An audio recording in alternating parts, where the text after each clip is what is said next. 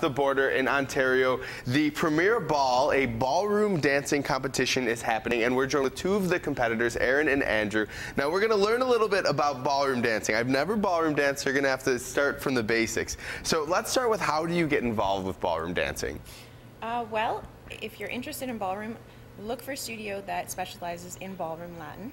Um, find a partner or go in on your own. Most uh, studios will have um, just adult classes for somebody who maybe just wants to try it out. Um, go in, take a class, see what you like, and then maybe find a partner later, or or you can meet somebody in the class. That's common too. Now, Andrew, tell me what you've learned through all of your ballroom dancing training. Um, I've learned basically on uh, how to communicate uh, with women very well um, and how to uh, get good exercise. Um, I also um, have learned that uh, I love to do it and that uh, there's nothing else in the world for me. All right, Erin, you have to tell us a little bit about this competition. What's going down over there? Well, it's a three-day event. Um, we start Friday and we go right to Sunday. It's full house all three days. We've got um, everybody from the young to the old. Um, Sundays, a lot of kids. So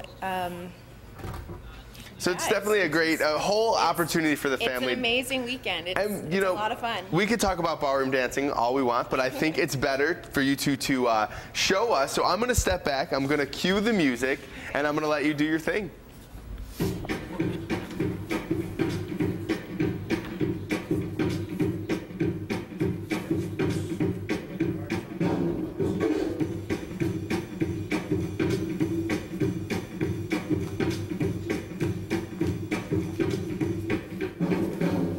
Cheers.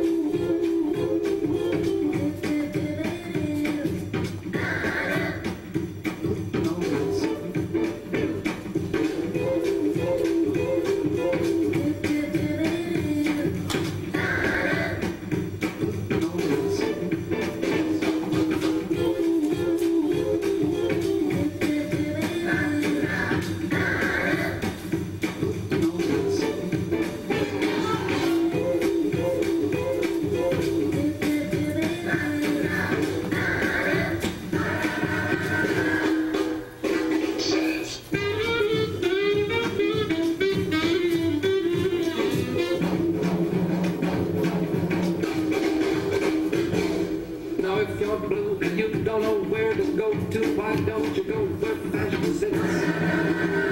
Put on,